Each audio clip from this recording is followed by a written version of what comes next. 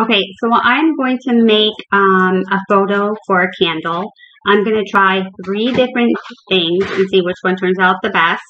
I am going to do um, sublimation paper, uh, sublimation on vinyl, and then another one is just like a clear vinyl, but I'm going to try to sublimate on that. So let's check it out and see which one shows up the best. Um, the first one I did was the paper.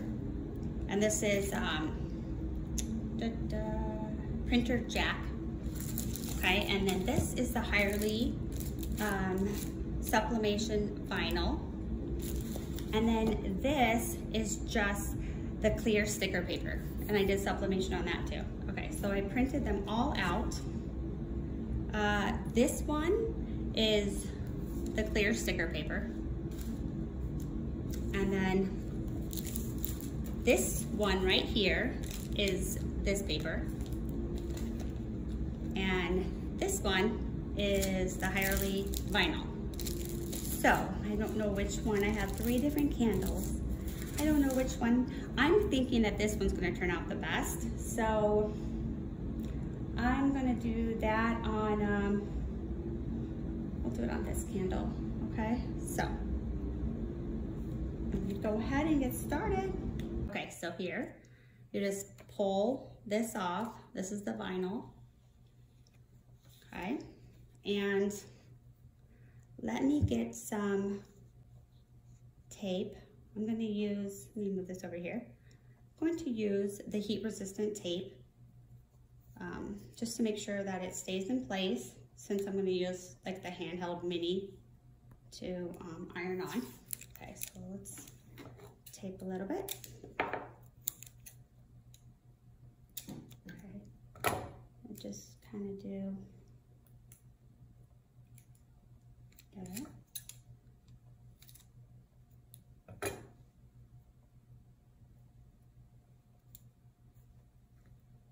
Make sure it's even.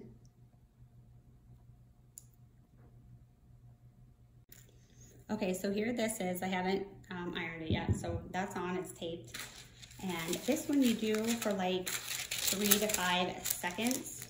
Um, so let's go ahead and maybe a little bit more or less. We'll have to just play it by ear. And I've never done this before, so. Okay, so this was the Hirally vinyl. I think it turned out really nice, um, except when I used the um, heat resistant tape and I took the tape off here and here, it took the color with it. Here I got lucky and it didn't. So I would recommend not using the tape, which is too bad because I liked that it was just stayed put when I was ironing it. So I think this turned out nice had I not used tape. Okay, so this one is actually just using the clear sticker paper. Okay, so put it here. Let's put it here.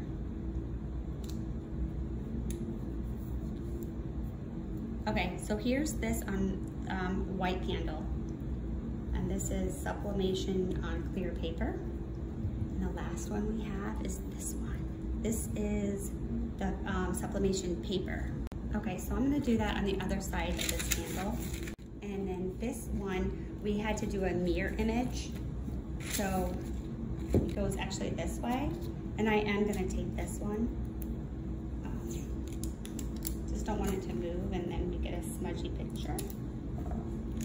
Okay, so this one is taped on and we're ready to iron this one up.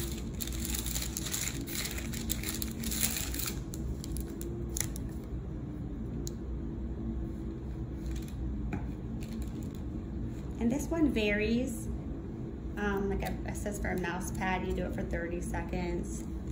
Uh, porcelain, like three minutes. So it just depends. It doesn't say candle I just gonna wing it.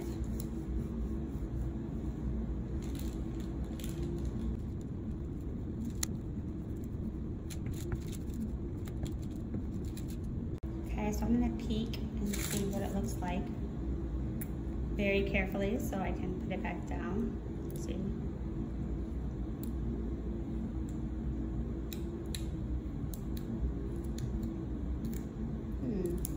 So I peeked on this one and it looks like it's not even coming off. So I'm just gonna try and um, do it just with no wax paper and see if that makes a difference.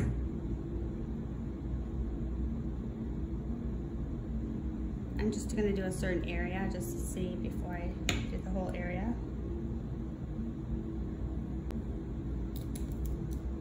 Nope, that does not work. The sublimation paper on here does not work. It just kind of does that, you know, like a little black mark. So anyway, we did all three. I was just wondering which one you guys like best. Oh, sorry, we ended up putting it on here. The shipping tape, which actually doesn't look that bad. And this one was the sublimation vinyl, which I think actually turns out really turned out really, really nice. I like this. Um, just if you do it, don't use tape. So, I hope you enjoyed my video. And I'd love to hear what you think of um, the project, which candle you like, and um, thanks for watching. Don't forget to subscribe. Bye.